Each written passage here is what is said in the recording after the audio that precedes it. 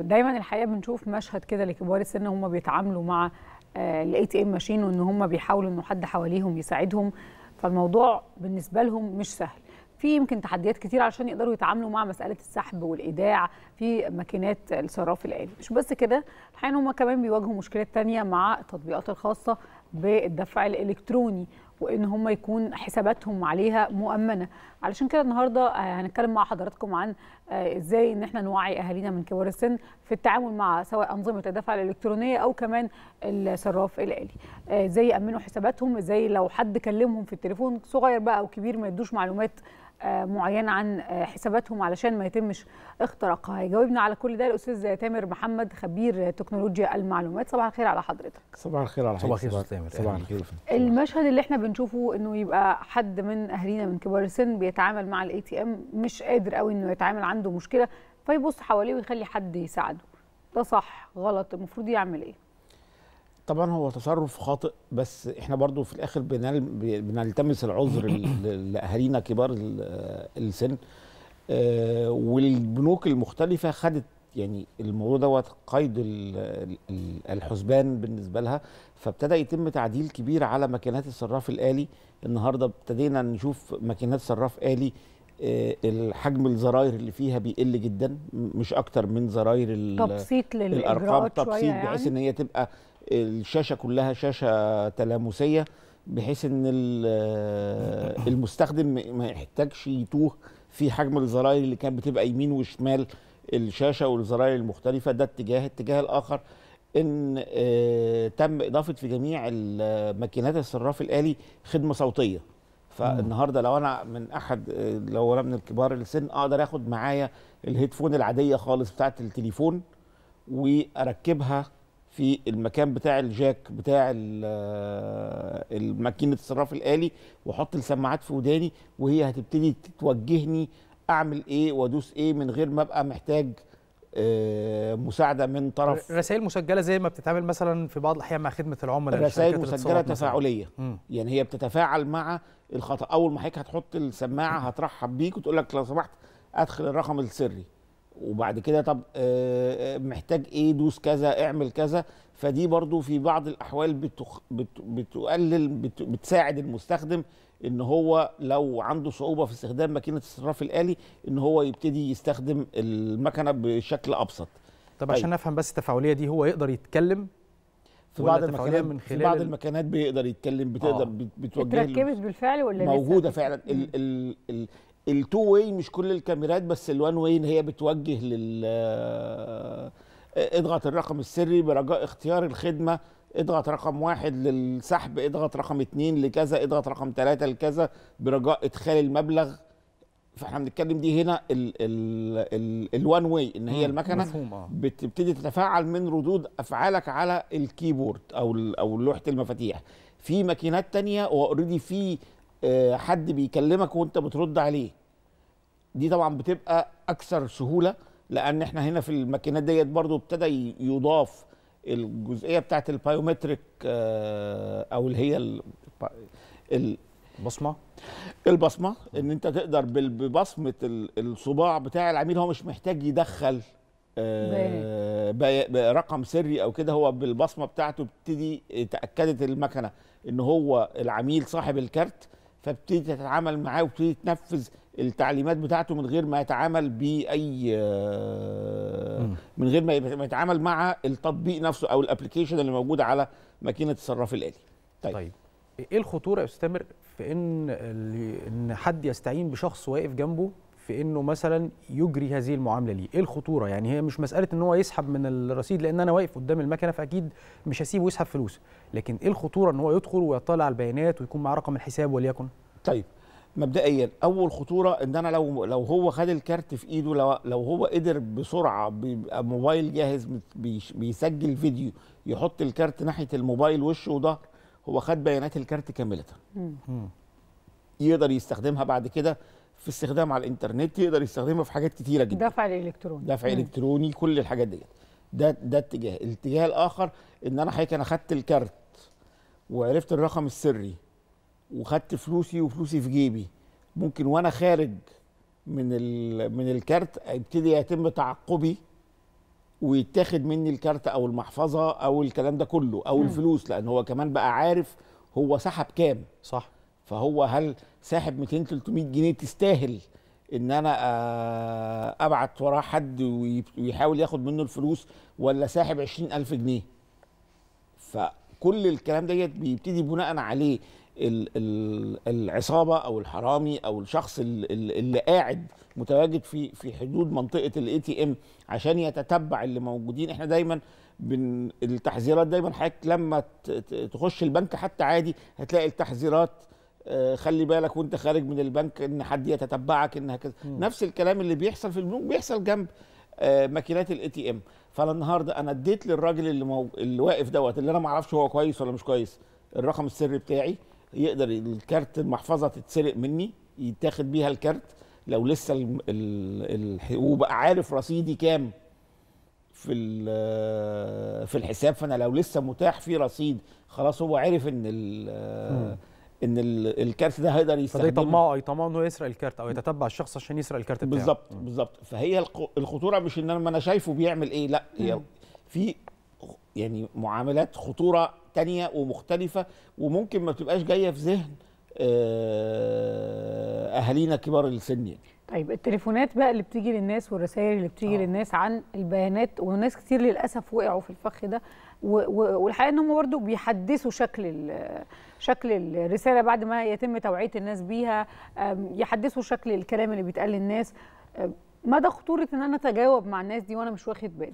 طيب خلينا نقول مبدئيا إن البنك عمره ما هيطلب منك تحديث بيانات ولا عن طريق إيميل ولا عن طريق تليفون ولا عن طريق رسالة ولا عن طريق واتساب. يعني لما تجيلك من الحاجات دي 100% ده حد عايز يخترق حسابك ويسرقك. بالظبط. أقصى حاجة ممكن تحصل إن البنك يبعت لك رسالة على الموبايل برجاء التوجه لأقرب فرع لتحديث بياناتك. مم.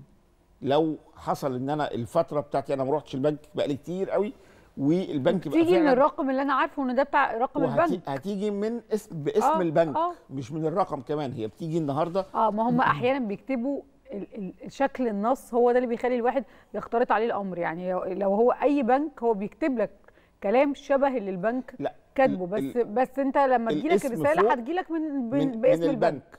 بالظبط. نفس الكلام لشركات الاتصالات عشان المحافظ الإلكترونية. فمش هيحصل. لو جات لك أي رسالة اضغط على اللينك الرابط الفلاني علشان تحدث بياناتك فده نصب.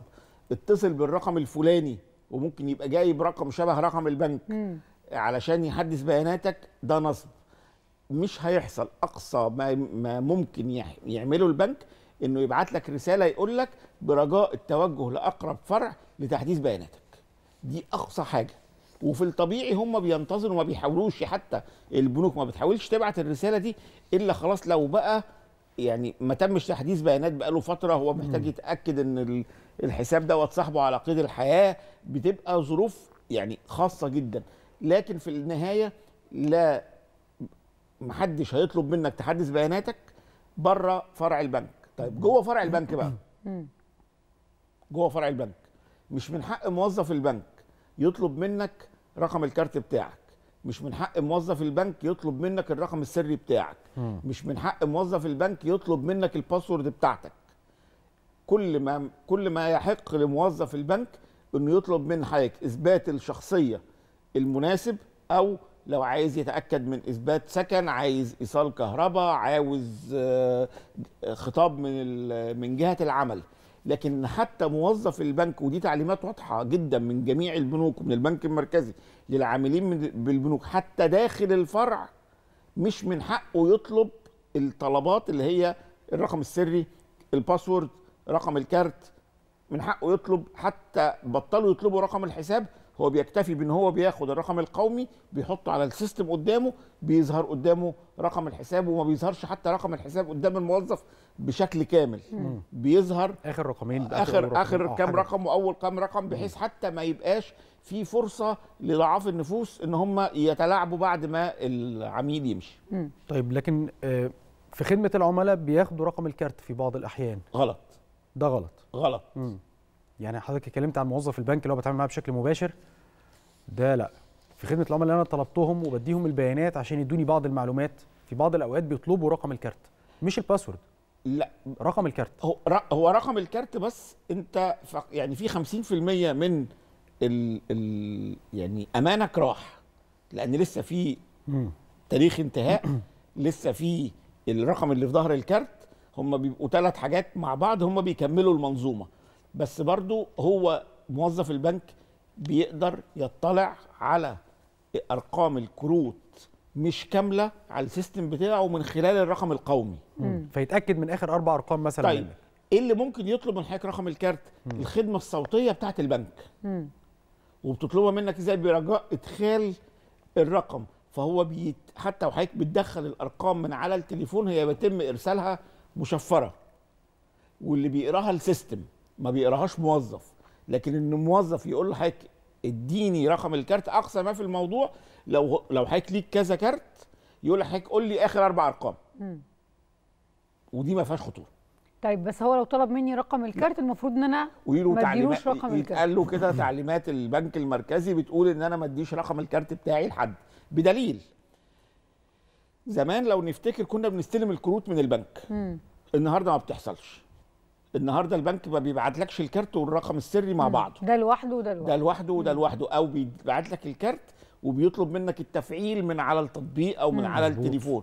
فما هو ما أسهل ان يقول لك طب خلاص روح استلمه من ال- من البنك. كنا زمان بنستلمه مش في ظرف مفتوح. النهارده لازم نستلمه في ظرف مقفول ولازم أتأكد وأنا بستلم الكارت بتاعي إنه الظرف اللي أنا بستلم منه هو ظرف البنك وإنه الظرف مغلق وما اتفتحش قبل كده. طيب نرجع للنقطة اللي كانت هدير بتتكلم عنها الرسائل اللي بتيجي. كبار السن يتعاملوا إزاي مع هذه الرسائل؟ هم يتجاهلوا. كده كده هيتجاهلوها. ولا. يبلغوا بالأرقام؟ طبعا لو يقدر يبلغ ده يبقى شيء ممتاز جدا. آه. لو يقدر يبلغ ال- بالرقم دوت يبقى شيء ممتاز جدا. وللامانه إحنا حتى يعني أنا بصفتي سكرتير شعبة الاتصالات وتكنولوجيا المعلومات آه، سوري والتكنولوجيا المالية بن بنوصلنا بيوصلنا من شركات المدفوعات الأرقام اللي بتحاول تعمل عمليات نصب على العملاء وبنبعتها سواء لإدارة ال- الأموال العامة أو هم لإدارة بيعرفوا إنها أرقام نصب بناء على بلاغات ولا هم ليهم بناء على بلاغات. وبناء على كل معظم شركات المدفوعات عندها حاجة اسمه fraud system اللي هو system خاص بان هو بي detect محاولات النصب. فبنبتدي نعرف الكلام دوت فبيجمع الكلام دوت ونبتدي نرسل للجهات المختصة في الداخلية سواء الأموال العامة أو مباحث الإنترنت بالأرقام التليفونات ديت وبيتم حجبها وابتدي يبتدي يدور على أصحاب هذه الأرقام. طيب بالنسبة لل applications بقى والتطبيقات اللي موجودة على الموبايل كلنا سايبين أرقام حساباتنا ومفتوحة على هذه التطبيقات هل ده صح ولا غلط؟ طيب هو أنت رقم الحساب مش هتلاقيه كامل على رقم على ال application. أو أو رقم لا الكارت. هو رقم كل الكارت مره مش وأنت جاي هتلاقيه كامل تدفع على بيطلب. منك الأرقام طيب. السرية بس. بالظبط. هو. حيك أنت طالما حطيت ابلكيشن وحطيته على موبايلك فأنت الرقم السري دوت هو حياتك. هي فلوسك. الرقم اللي هو الست أرقام أو الأربع أرقام حسب بتختلف من بنك لآخر ده حياتك. والبنوك ضايفة عليها كمان القصة اللي هي الاو تي بي الوان تايم باسورد يستحسن إنه لازم عشان بس نفهم ال password دي الناس. مختلفة عن ال password دي. لازم يبعت لك password ترجع تاني تدخلها على التطبيق علشان عملية الدفع الإلكتروني تتم. بالظبط. وعلشان تدخلي على التطبيق اللي بيطلع لك ال OTP ليه password تانية. يفضل إن ال password دي ما تكونش نفس ال password دي. عشان لو حد عرف الأولانية ما يعرفش التانية. وكده كده الأرقام اللي فيها خطورة بتبقى موجودة على التطبيق مشفرة بيبقى ظاهر أولها وآخرها. يعني ده أمان يعني. فده أمان. مفيش مشكلة. اللي مش أمان إن أنا أدي ال password بتاعت التطبيق لحد إن أنا أدي ال password بتاعت ال OTP اللي هي ال one time password أو ال password ال- ذات الاستخدام الواحد لحد الاثنين دول فيهم مشكلة ده في application كمان ممكن- بتعمل بعد اذنك يا. كتير في application كمان بتعمل يا دكتور آه ال- ال password مدته 10 ثواني مم. لا مش فأنت 10 يا دوب تاخد لا 10 ثواني بالظبط. عندي في البنك 10 ثواني 10 ده كفاية. فيا دوب أنت. آه ما هو أنت يا دوب تاخد لو عايز ال password تحفظها ما هو انت ال copy على طول أظن إحنا بنتكلم في- في range المتوسط 30 ثانية ماشي ما اختلفناش ما اختلفناش يعني- آه. بشكل عام آه يعني. لكن أصل هي 10 ما تل- ما تلحقش حتى ت switch بين ال application وال application وتدخلهم. لكن هي المتوسط بتاعها 30 ثانية ده علشان خاطر ت expire آه وبعدين بيت لما تيجي تطلب رقم جديد بيطلب منك ال password تاني. ده برضو عامل من عوامل الأمان. بالظبط. طب في ناس. بيحصل معاها إنها تكون سايبة ال- الكروت بتاعتها في مواقع معينة وعمالة تسحب منها فلوس وهي مثلا مش قاصده إنها تدفع ده. طيب المفروض ما هي دي بقى ما دي خطورة كبيرة جدا في إن أنا حضرتك في الأغلب وأنت داخلة بتحطي الكارت بيطلع لك سياسة الاستخدام. مم. اللي غالبا بندوس عليها اكسبت من غير ما من نقراه غير ما نقراها.